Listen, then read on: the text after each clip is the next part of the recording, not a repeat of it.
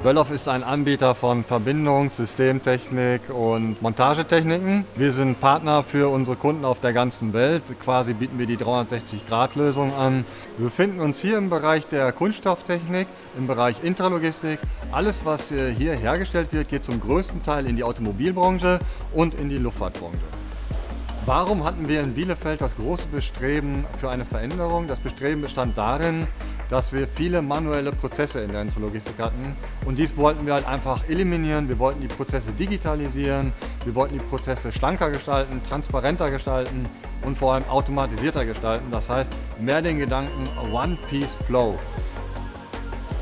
Die Gesamtlösung, äh, die Böllhoff als Generalunternehmer umgesetzt hat, besteht aus dem Cardex Mini Dem äh, Leo Locative System und äh, dem LCASI System von PS Corporation, die unsere Lagerverwaltung übernimmt. Der Grundsatz unserer umgesetzten Lösung besteht aus einem 30-Stunden-Puffer, den wir an Halbteilen äh, der Fertigung zur Verfügung stellen. Diese Halbteile werden manuell kommissioniert und in den Cardex eingelagert. Diese Einlagerung erfolgt, indem wir die Artikelnummer, die Chargennummer und die Menge der Ware im KLT scannen und an PS Corporation melden. Somit wird der Bestand verfügbar sein im Cardex für die Produktion. Sobald an einer Montageanlage ein Halbfertigteil benötigt wird, wird am E-Label per Knopfdruck der Bedarf generiert. Darauf folgt dann ein digitaler Informationsfluss, der die Auslagerung am Cardex äh, anstößt. Nach erfolgter Auslagerung äh, aus dem Cardex-System ähm, wird die Ware an die Übergabestation übergeben von Vito FTS-System. Danach erfolgt eine Gegenprüfung von PS Corporation und danach erfolgt der eigentliche Transport in unsere Fertigung. Sobald ein Fertigteil an unserer Anlage produziert wurde, wird am E-Label von PS Corporation ein Bedarf erzeugt und äh, das FTS macht sich auf den Weg, um die Ware abzuholen. Im nächsten Schritt erfolgt dann der Rücktransport von der Anlage zum Cardex-System. Dort wird äh, die Fertigware so lange gepuffert, bis eine Palettenmenge erreicht ist und diese komplette Palettenmenge wird dann am Ende hier in unserer Logistik wieder ausgelagert. Unser Cardex-System bietet uns Platz für ca. 30 Paletten an Fertigteilen und davon gehen ungefähr 15 bis 20 Paletten pro Tag zu unserem Logistikzentrum.